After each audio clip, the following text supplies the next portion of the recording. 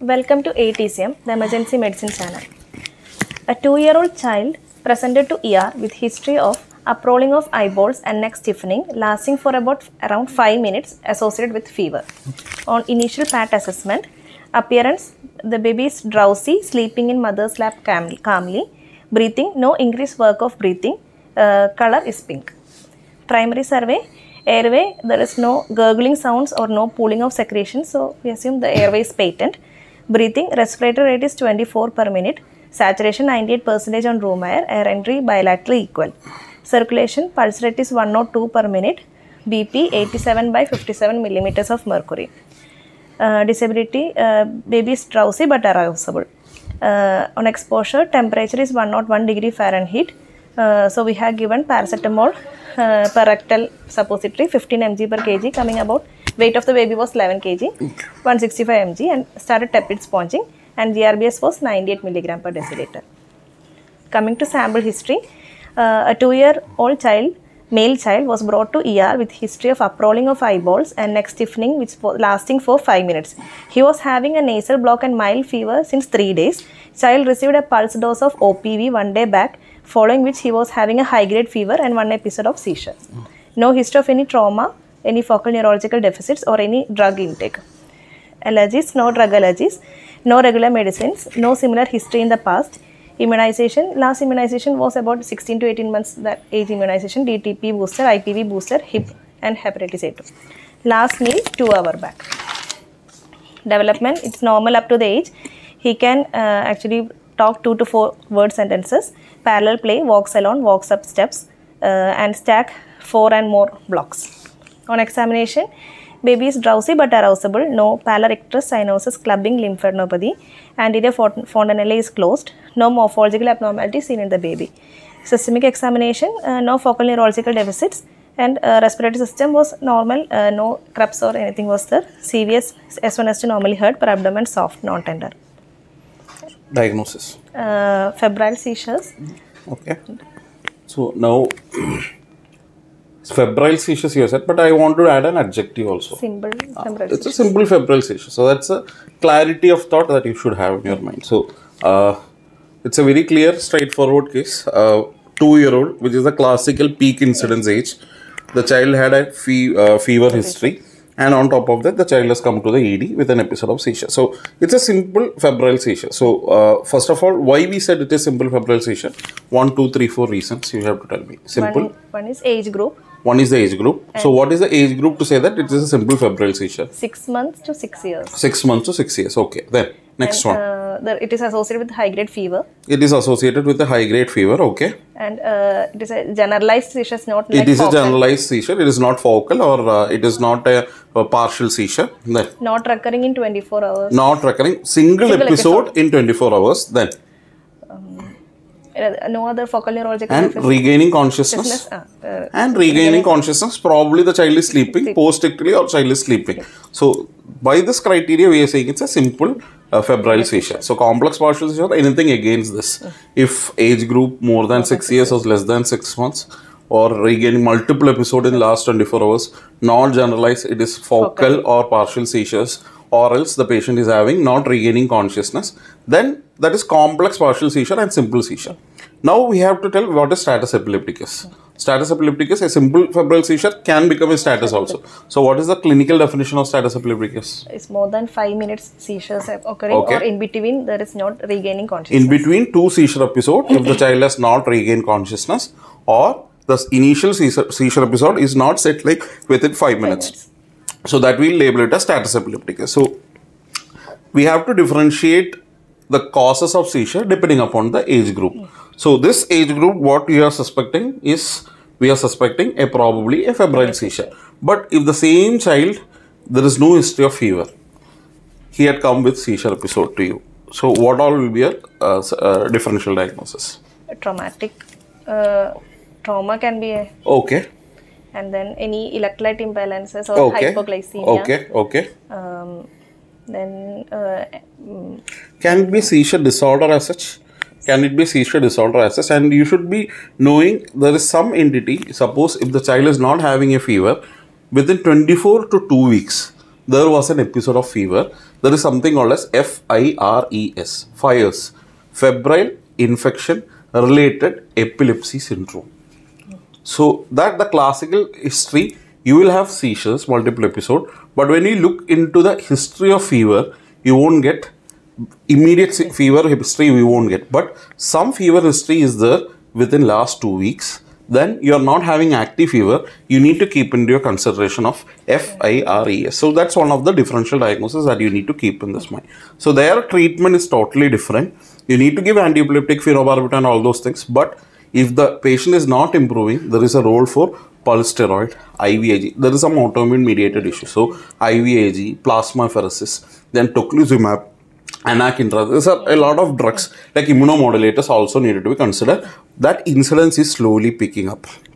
So when we generally speak about a febrile seizure, it's approximately five percentage is the incidence. Like uh, I had a febrile seizure in my childhood, so that's a very important history. So febrile seizure, I had three episodes when I was in child. So three recurrence rate also you should know. What is the recurrence rate of febrile seizure? A simple febrile seizure. You need to, you're sending off the child uh, uh, from the ED. You should tell them there is a possibility that this child might come back again with seizure. So the key thing that you need to ask is that if it's a first episode, there's almost 30 to 50 percentage to have a recurrence. But if there is a family history, if my son is at a seizure and there's a high incidence that he's going to get another seizure, family history and age of onset of seizure is very important. So these things, if it is like there is a risk factor, you have the major risk factor, you have to think that okay, there is a high potency that this child can come back. The routine patients is like 30 to 50, but who has this higher risk factor, it is like 70 to 80 percentage they can have a second episode of seizure and they can come back to the ED. So that's the differential diagnosis. So now let's uh, see uh, what are the seizure mimics. Here it's a febrile seizure. What are the seizure mimics in a children? In adult patient, we know what are the possible different. In children, what are the different things that you need to think? One, two, three, four. One is uh, chills and rigors of the fever can be a DD. Okay. And then um, breath holding spells. Breath holding spell, very very important. Is a breath holding breath. So, what will be a classical presentation of a breath holding spell? What is the age group of breath holding spell? Uh, up to uh, five years. Up to two to three years will be the peak. Maybe little bit younger age group, like 12 to 18 months, less than between that, you can have uh, breath holding spells. The age group is right, but maybe in little bit lower age group children, you will have more frequency of breath holding spell, and usually it will have a trigger. It will have a trigger. So that is a trigger followed by breath holding spell, and there will be history. There is a cyanosis, and what will be the recovery? It will be a quick recovery. Once the breath holding spell will be hardly for few seconds, and after that the child will be fully recovered. So that is how you have to differentiate. That is first differential diagnosis. Second differential diagnosis. Syncope. The classical syncope, what we see, the same thing can happen to your children also. So you have to differentiate whether it's a syncope. So the things that potentially say that it is a seizure, what are the potential things that points towards a seizure? You have a lateralizing, you have jerky movements, you have flickering of the eyelids, you have dilated pupils, you have increasing the heart rate and increasing the blood pressure during the event, a classical post-ictal phase, maybe a tongue bite. So these are all classical. Bowel and bladder incontinence can happen both for syncope as well as seizure. So that is next differential diagnosis that you need to keep in your mind. Recovery in syncope will be much more quicker. So that is the second differential. Third one third differential, it's a pseudo seizure. Maybe a little bit on the adolescent age group. Adolescent age group, they can have hysterical reaction. So they can have mimic like seizure activity and uh, they will have, uh, they will try to maybe doing uh, body jerky movements and all those things. So that also you need to uh, keep in your mind. So breath holding spell, then uh, syncope, pseudo seizures. So these are the common uh, differential diagnosis that you need to keep in your mind. And uh, definitely, if there is no associated with fever, then you need to think about an evaluation further, like electrolytes and all those things. But generally, in a simple febrile seizure, even your GRBS is not warranted. Even taking a GRBS is not required. Only thing that is required is a fever control. That is only thing. Unless and until the child have got any other risk factor or any other signs that is indicating to do an investigation. What are the investigations? So, whom need a blood investigation?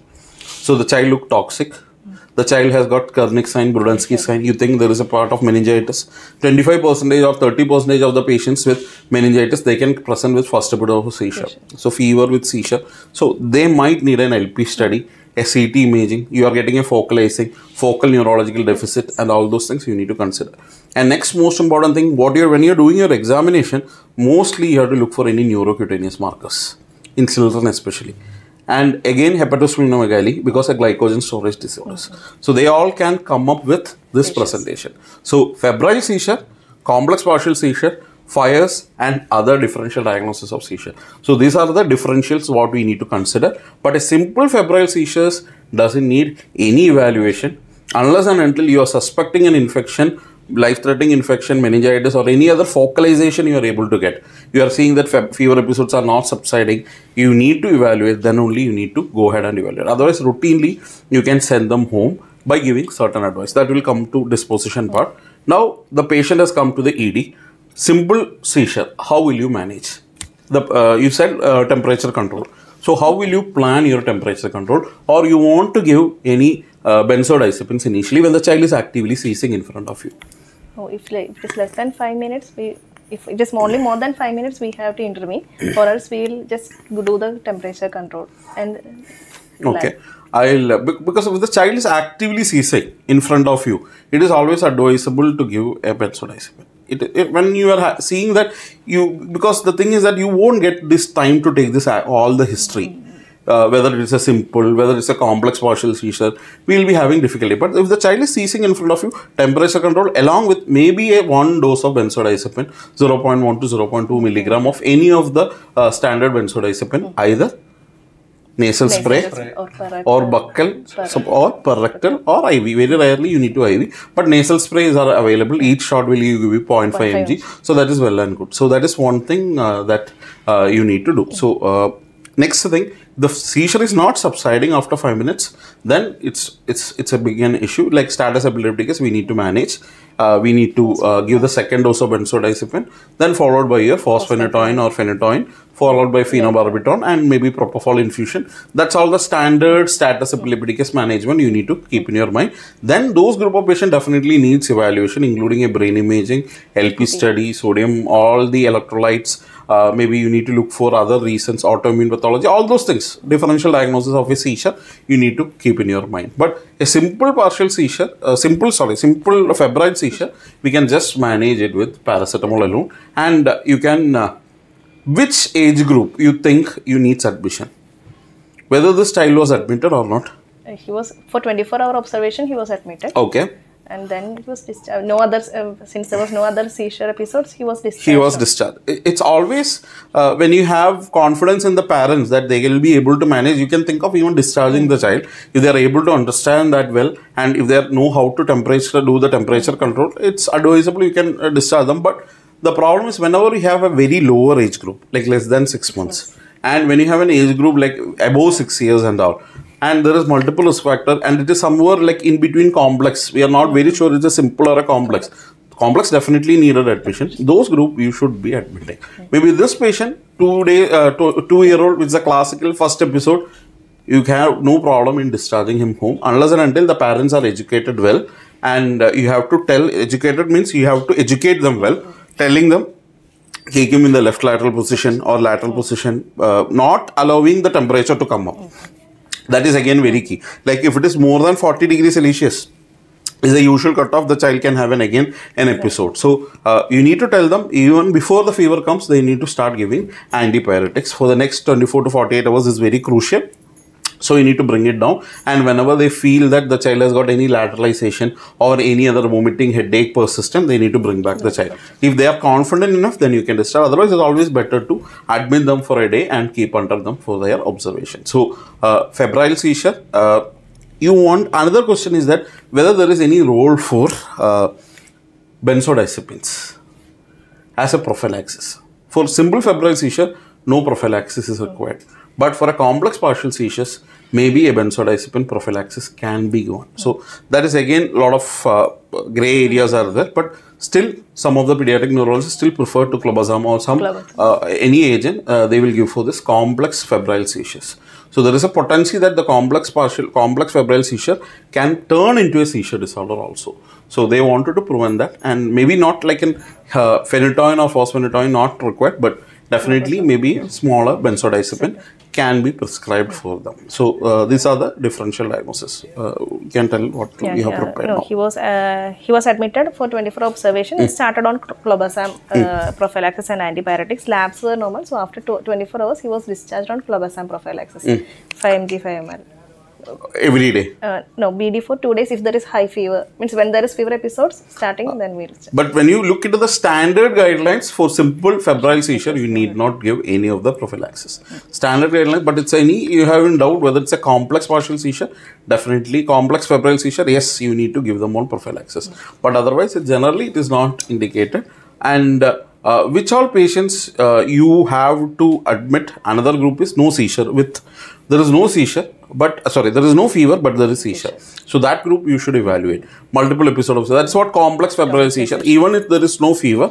And another entity what i've told is FIRES that is one of the uh, these days we are seeing a lot of cases. Those group of patients requiring this anakinra tocilizumab therapies and all. So that is now uh, slowly slowly evolving because these children are coming back uh, with this thing.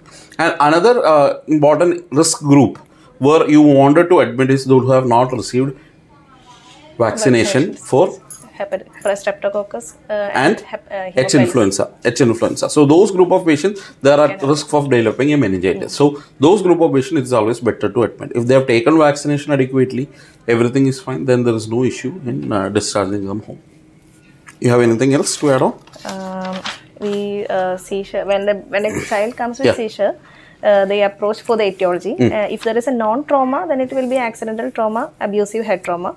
And if there is no trauma look for focal neurological examination. If there are uh, no deficits ask for fever. If there is fever then it is febrile seizures meningitis encephalitis. If there is no fever then we should um, rule out electrolyte imbalances. And if there is electrolyte imbalance, it can be hypoglycemia, hyponatremia, hypocalcemia, hypomagnesemia. If there is no electrolyte imbalance, look for uh, dysrhythmia, QTC prolongation, or if there is no uh, dysrhythmia, then drug any look for any drug exposures.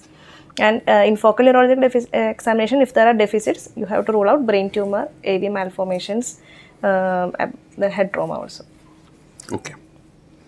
So the child was discharged. Child was discharged. So the take home message will be our uh, initial seizure management will be the same, but except for the fever management, which we need to go on a little bit aggressive and difference between a simple partial seizure, simple febrile seizure, and a uh, complex febrile seizure differentiation, and who needs to be admitted, uh, what are the differential diagnosis, what all things you need to do as an emergency physician, temperature control, benzodiazepine doses, 0.2 mg per kg body weight, then followed by your phenytoin, 15 to 20 milligram per body weight, phenytoin, fosphenytoin, fosphenytoin can be given a little bit faster compared to phenytoin, which is less irritable, fosphenytoin. Then the next thing is phenobarbital, again 20 milligram per kilogram, and sometimes you can go into the newer uh, anti uh, anti-epileptics like levetiracetam also. Uh, the dosing ranges some 60 milligram per kilogram body weight. That is the actual dose. But many a times we don't give that that much dose for all the patient. So again, prophylaxis, clobazam is a drug that can be given for uh, complex febrile seizures. So uh, recurrence rate is very high. So you can uh, think of giving them on clobazam prophylaxis. And always, all patient doesn't need an LP but you have suspicion of a meningitis, Kernig's-Brudzinski or altered sensorium still persisting, go ahead and get an LP and uh, do a series of analysis. Okay, fine. Thank you.